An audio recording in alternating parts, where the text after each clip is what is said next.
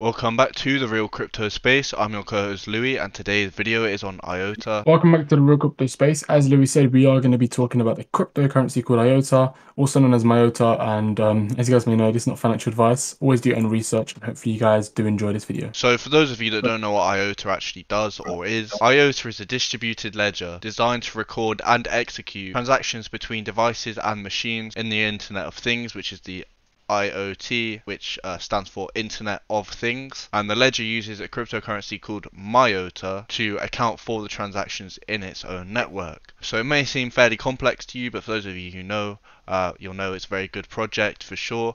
Um, and if we see that here, the market cap is 2.2 billion dollars, which is a lot less than what it's been in the past. If we look here, it's all-time high.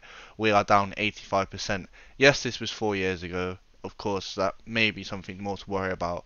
But if we look at where it was a year ago, what, what was its high from a year ago? As we see here, we've gone to almost $2.40. Almost $2.40 we've been to. So right now, we've definitely been more than double this, almost triple this. Um, so we know we can go a lot more than this, and we know we're down a lot. Um, I'm not saying the $4, $5 range is likely at all, um, but if we see by the uh, the high on uh, in 2021, um, we can definitely aim for that. That's for sure. Um, that's something we can aim with, especially with what the market is doing and how good this project actually is. Obviously, we all know it's down to Bitcoin at this point. It's not down to anything else. It's whatever Bitcoin is doing will dictate what the rest of the market is going to do, as we all know if you've been in crypto for a long time. Um, so of course, it's nothing to do with what the project releases tomorrow. It won't have a large effect. It's all to do with what Bitcoin is doing. Bitcoin is king, as we know. As we see here, its all-time low was two years ago, which is actually after its all-time high. So actually, in hmm. the bear market of 2017, we reached the all-time high, and after it, we went to the all-time low, which is very weird to think about. Um, but that was actually after a big, big update that did happen, how everything did change. So we can't really take this $5 mark into consideration or account to be honest with you. We have to be more taking in what happened last year or maybe 2020 as well. Um, so that is the main thing there. So we can really see in 2020 let's say that's when it first properly started um, 8 cents and uh, now we're at 75 78 cents uh, so it's done very, very well um, in the long term scale of things realistically. So if we get into the technical analysis of IOTA and see if we're looking bullish on the charts or not. All right, from what we can see right here on the monthly time frame, we have had a massive rejection and uh, from what from from what we understand, you know, we did take out the previous um high that we did see before. As soon as we took out the previous high, this was like a fake breakout. And everyone was saying we're going to go to the moon. Everyone was excited. Everyone had their memes ready. Everyone got so happy.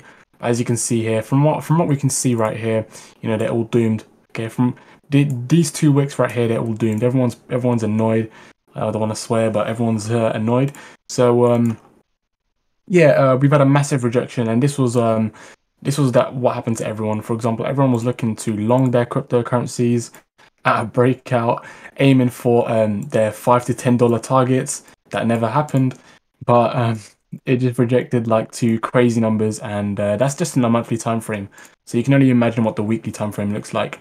The weekly time frame, from what we can see here, was bullish. We had that massive rejection, and people were thinking it's retesting or retracing back down.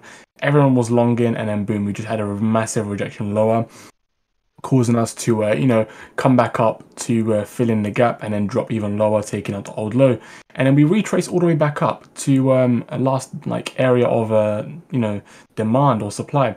And then we ended up dropping all the way back down. And as of right now, we are looking like we are potentially going to be making a double bottom.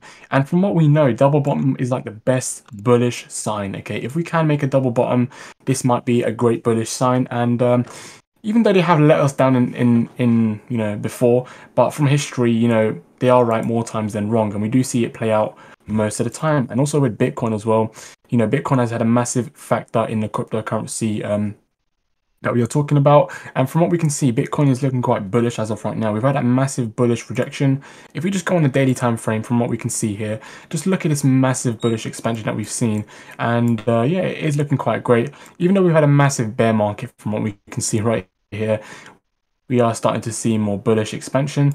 Um, if I just move this right here, and uh, as you can see right here, the, um, the massive uh, bullish candles that we are seeing as rejections from the 30k mark is looking great and greater and greater by the day. And I do think that we are potentially going to be moving a little bit higher before we do drop one last time. So this might not be a great impact for the cryptocurrency um, MIOTA. So that is it for this video. If you feel like you've taken any value from watching it, then please make sure you press that like button and also press that red subscribe button. It really does help us out. I mean, really do appreciate it. And uh, yeah, thank you very much. Have a lovely rest of your day.